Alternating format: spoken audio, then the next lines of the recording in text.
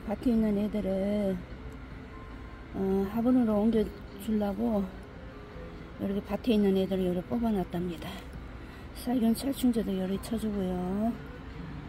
이렇게 뿌리를 한 일주일 정도 말라야 되겠어요. 여기 뭔지 여기는 아 이건 무슨 말이야 그. 네. 연애도 또 지금 뿌리를 이렇게 약 쳐놓고 이렇게 한 일주일 정도 말리려고 뿌리가 나올 것 같아요.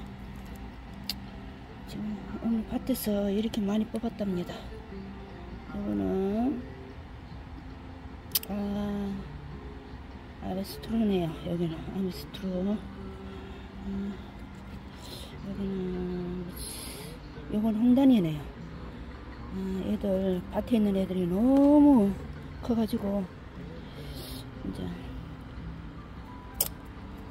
아, 화분으로 옮겨줘야 되겠어요. 여기는 여기는 요런 말이야네요. 애들이 물이 들어가지고 다들 이렇게 이쁘답니다. 아, 꽤 귀엽죠? 이게 몬스터. 이것도 뿌리에 약을 쳐주고 쳐줬답니다. 사연 처리, 처리 다 해줬어요.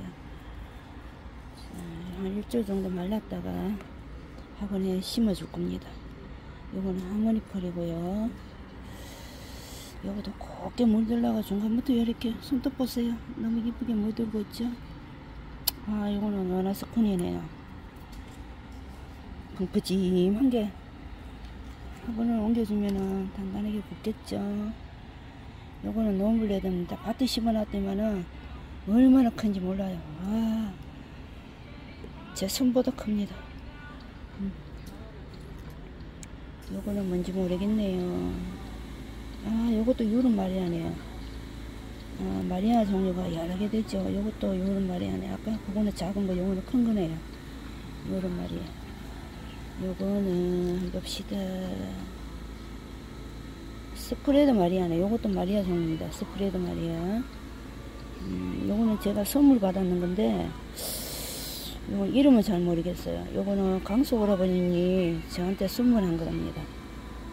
음, 음, 요, 요거는 연꽃 마리아네요.